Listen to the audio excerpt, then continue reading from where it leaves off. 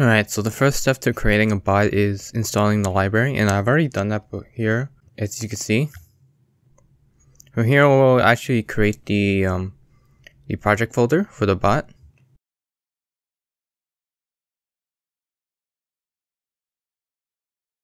And we're going to create the source code, the CMake list, and we're also going to make the build folder. From here, I'm just going to um, uh, I'll copy the, uh, the source code. We're going to copy the CMake file as well from the examples on the documentation. Alright, we're going to save the file.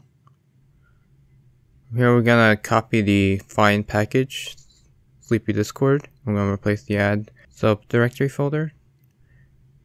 Here we're to go to the build folder and we're to do a CMake where we're to run CMake.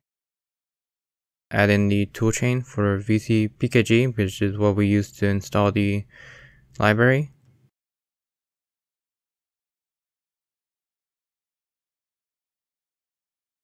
Oops.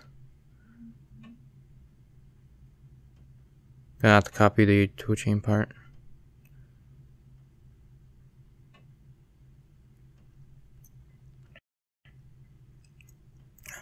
Alright, now it's running, it's finished, no errors.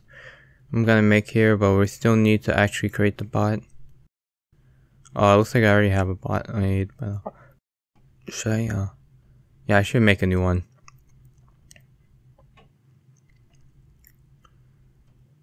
Alright, I'm gonna add the bot. Copy the token. Paste it. Finally, we make it or build. It sh should take a second. Come on, come on. Oh, there we go. It's linking. Come on. There we go. Now we run it. And it should, yeah, there we go. A working bot already. And that ends the uh, video, I guess.